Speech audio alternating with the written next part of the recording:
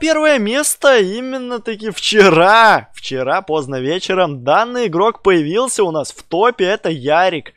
Это просто Ярик, который, как по мне, можно сказать навсегда останется в топ-1 нашего рейтинга. И я в такой момент могу сказать только одну фразу. Ярик текай из городу, может сказать только один человек, которого я знаю.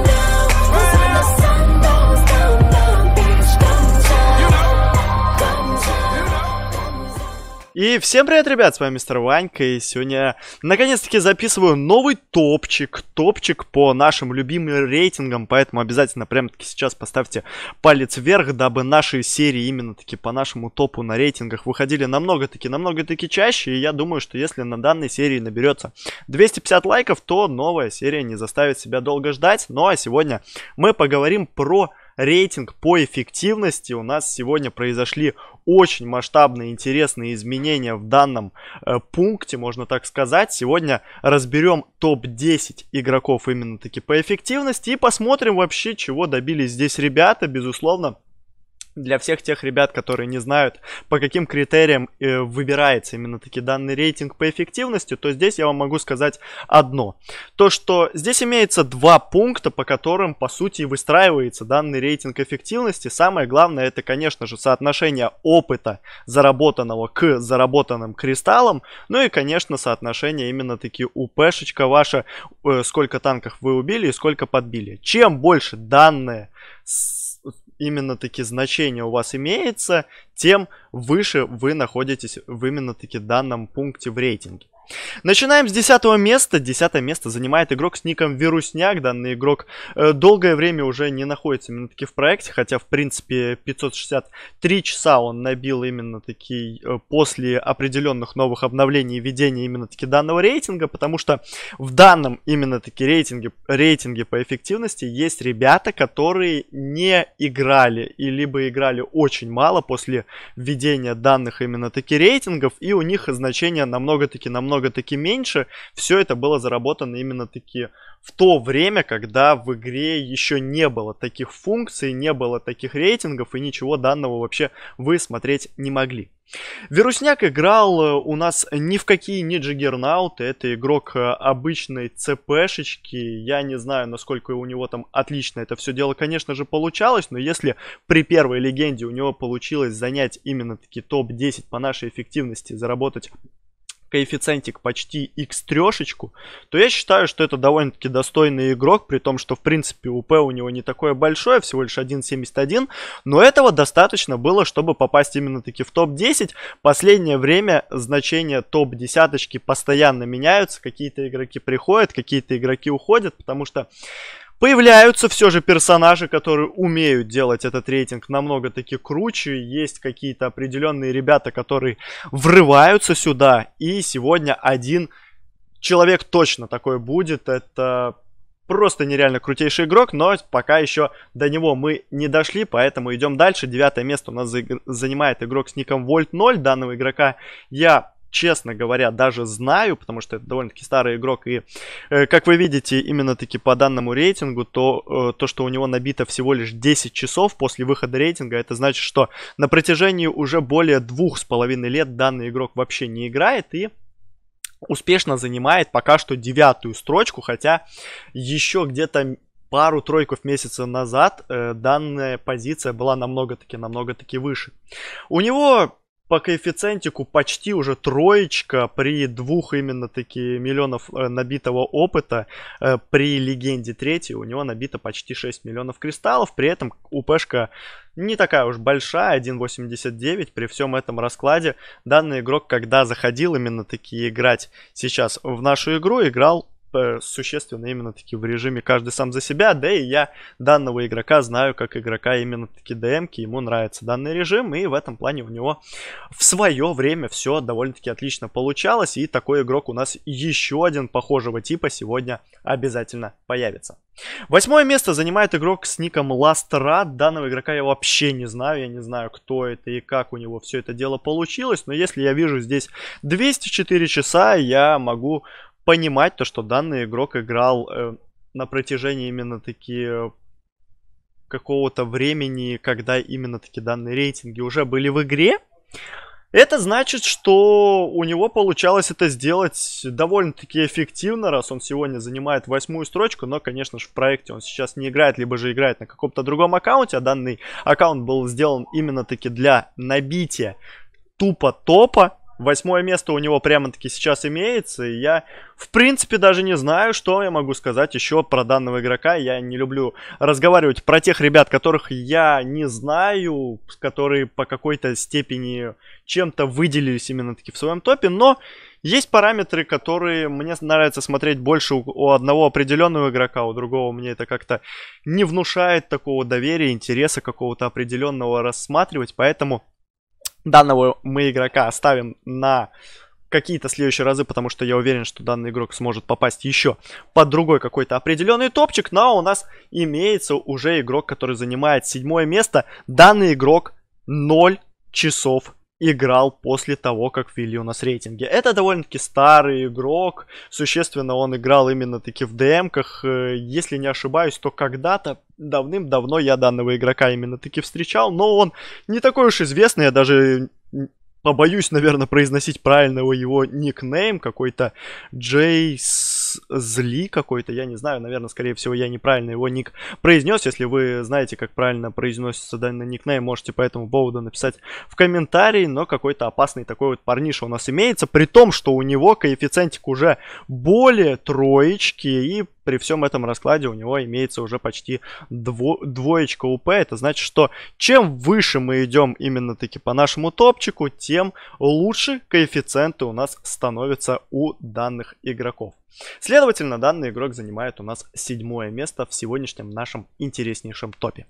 Шестое место занимает игрок с ником э, Минстер. Э, также данный игрок играл у нас в игре, 366 часов у него набито, при всем этом раскладе у него УПшечка 4.54, довольно-таки достойная УП при всем том раскладе, то что коэффициент его оставляет желать лучшего. Вот вы представьте, если бы у данного игрока была бы, например, такая же коэффициентная статистика отношения опыта к кристаллам, как, например, у данного игрока. То есть у него уже она существенно выше почти на полмиллиона, но у данного игрока имеется прям вот суперская УП, как по мне, 4.54 для легенды, это довольно-таки достойный результат, при том раскладе, то, что данный игрок не играл никакие тут джиггернауты, это игрок, э, который, возможно, таки в какой-то степени не знал еще про данный режим, либо же он, когда играл, его еще не было, потому что многие ребята, которые сейчас добиваются нашего топчика по эффективности, они существенно играют именно таки в режиме Джиггернаута, потому что там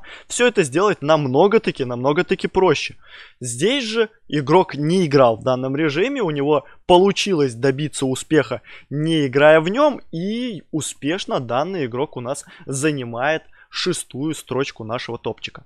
Пятое место занимает игрок с ником Фрал. Вот именно таки про данного игрока и про Вольта я знал уже давным-давно. Это те ребята, которые любили играть в ДМках. И сейчас вы, как видите, у него набито было только 3 часа после именно таки выхода данных рейтингов. И я могу с уверенностью сказать, что это был довольно-таки скилловый игрок определенного рода. Такие ребята сейчас у нас уже не играют в нашу игру. Таких ДМщиков нету заядлых э, ребят, которые любят свой шафт, потому что именно таки данная пушка его была основной в игре. Да, может быть она менялась на условный какой-то гром, но по большей части он использовал именно таки шафта. УПшечка данного игрока 3.43 и коэффициентик тоже очень близкий именно таки к троечке. Ну и при всем этом раскладе у него легенда четвертая уже. Попрошу заметить то, что и чем выше у вас легенда, тем сложнее все же попадать в этот топ. И парень смог сделать еще в то старое время довольно-таки хорошие результаты. Если не ошибаюсь, после выхода именно таки данных рейтингов, данный игрок занимал позицию номер один. Но сейчас уже время меняется, но появляются новые нагибаторы, они влазят в этот топчик и смещают данных игроков. Четвертое место в нашем топе сегодня занимает игрок с ником Electrosoft. Про данного игрока я не могу ничего много рассказать, потому что я не знаю, кто это такой. Если судить данного игрока именно таки по рейтингу, то я могу сказать, что он набил всего лишь 46 часов, а это значит, что большое количество э, его игрового времени было набито за рамки нашего рейтинга, именно таки ввода его в, в нашу игру, то есть это было набито более двух с половиной лет тому назад. При всем этом раскладе у него УПшечка я бы сказал, маленькая, 1.73, и он занимает четвертое место. Это значит, что УП не так сильно влияет на наш топ, но зато у него коэффициент уже более троечки, соотношение опыта к заработанным кристаллам у него составляет около 3,3%, то есть 3,3%. Третье место нашего топа занимает игрок с ником Скилловой Нагибатор. Скилловой Нагибатор это игрок, который уже появлялся каких-то определенных джиггернаутах, если я даже не ошибаюсь. Нет, нет, ошибаюсь, это не тот игрок. Извините, пожалуйста.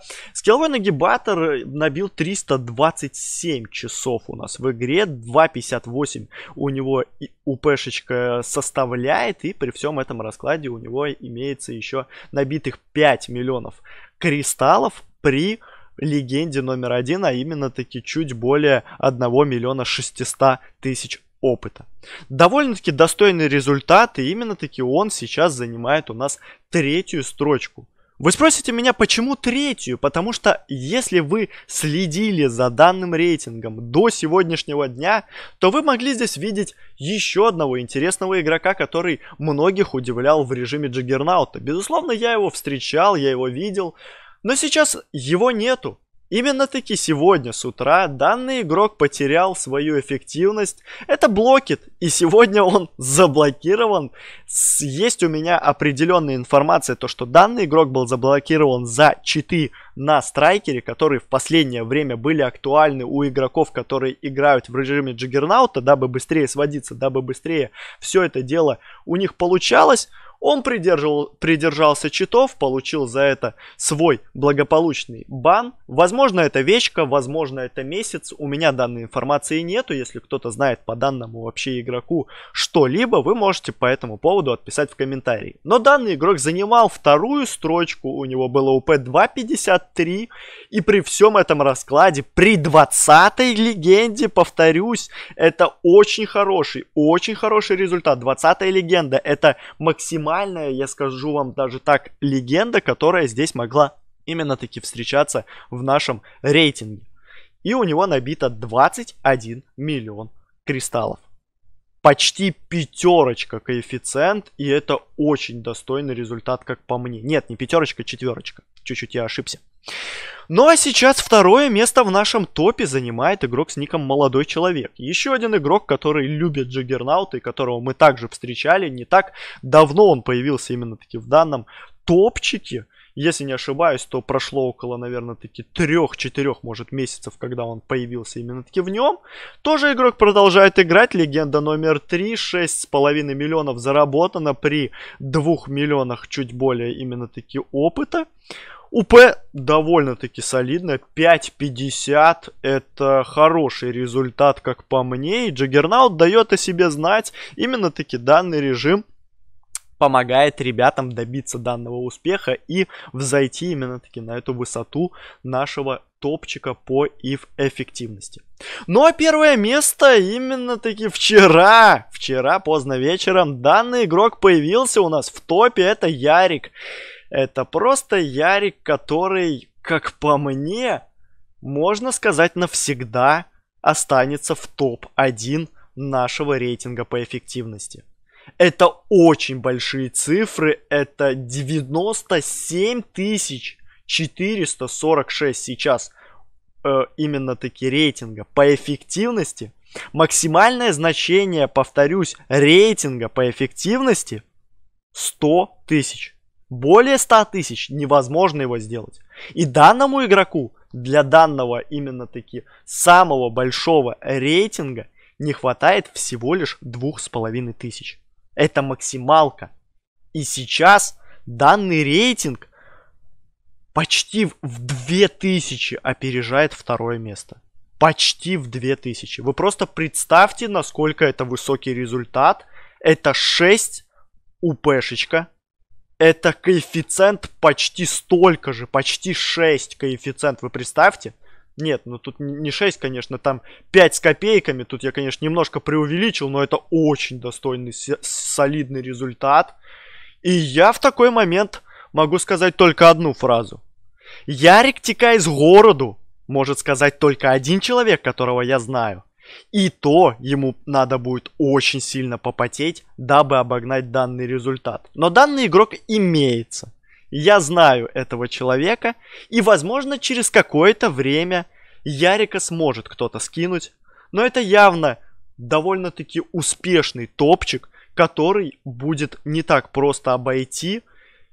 И очень серьезный задел сейчас сделал данный игрок. За, можно так сказать, очень маленькое время.